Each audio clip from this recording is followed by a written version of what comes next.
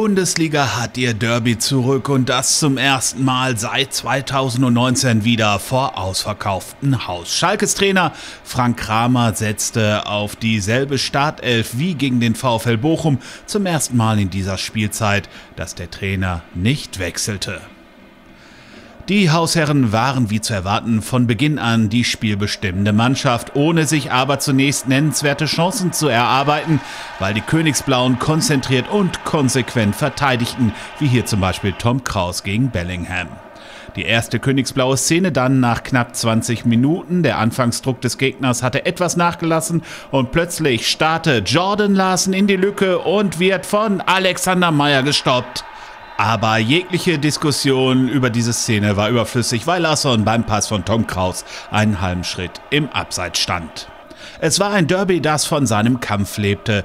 Pech dabei für Marco Reus, der nach diesem Zweikampf verletzungsbedingt ausscheiden musste. Reiner kam für ihn ins Spiel. Nach der Auswechslung bekam die Partie neuen Schwung. Malen mit der Flanke und dann ist Bellingham mit viel Platz, aber Schwolo ist zur Stelle und verhindert den Einschlag, die bislang beste Chance im Spiel. Dann war Halbzeit, die Hausherren kamen wie Schalke unverändert aus der Pause, aber auch besser. Keine Minute war gespielt, als Mahlen sich den Ball schnappt, setzt sich gut durch, aber wieder ist Schwolo zur Stelle, verhindert den Rückstand. Die nächste Szene leider auf der falschen Seite. Julian Brandt, Zweikampfsieger gegen Henning Matriciani. Und Reina am zweiten Pfosten. Aber Tobi Moore in letzter Sekunde mit dem Kopf dazwischen.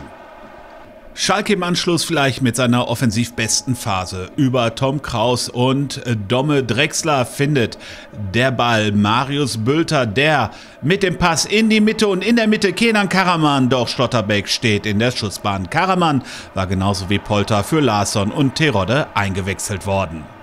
Die Torszenen häuften sich nun. Meunier mit dem Pass aus dem Fußgelenk auf Mukoko, der alleine vor Schwolo und Schwolo wieder zur Stelle.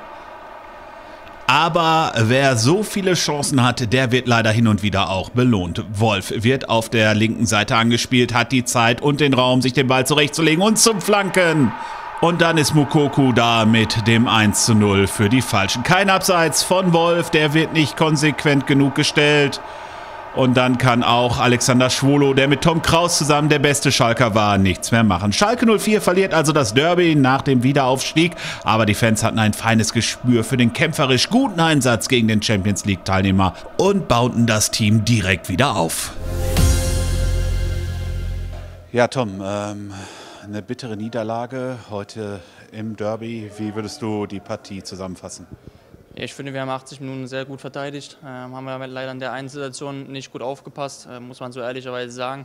Ähm, ja, und das ärgert uns extrem, weil wir unbedingt hier was mitnehmen wollten. Ähm, und deswegen ärgert es mich umso mehr jetzt, dass wir das Spiel verloren haben. Äh, wir haben hier 90 Minuten, glaube ich, sehr, sehr gut äh, gekämpft, sehr, sehr gut dagegen gehalten, mit viel Leidenschaft.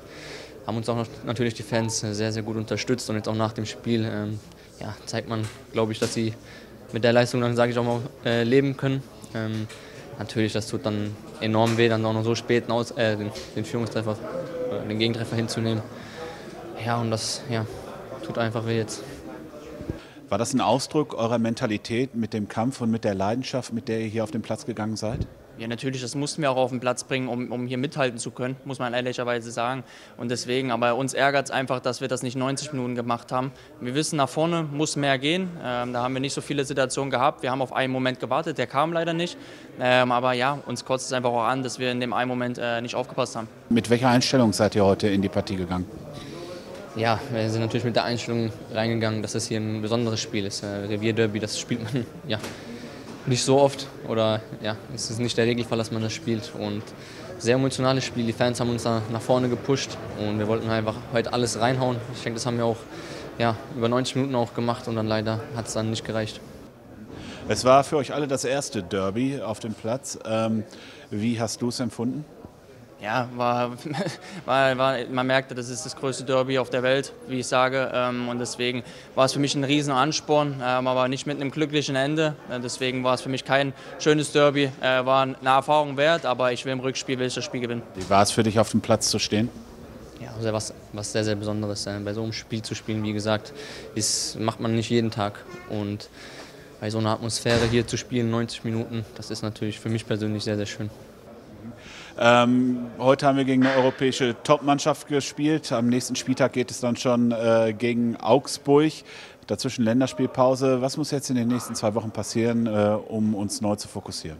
Ja, wir müssen jetzt einfach das auch schauen, was wir nicht so gut gemacht haben, vor allem im offensiven Bereich. Müssen wir uns noch viel mehr Situationen herspielen. Dafür haben wir jetzt zwei Wochen Zeit dann gegen Augsburg. Augsburg hat jetzt auch gegen Bayern gewonnen. Ähm, und deswegen, wir müssen uns einfach jetzt äh, in den zwei Wochen, müssen wir uns von Stück zu Stück weiter, weiterarbeiten, äh, was wir besser machen können.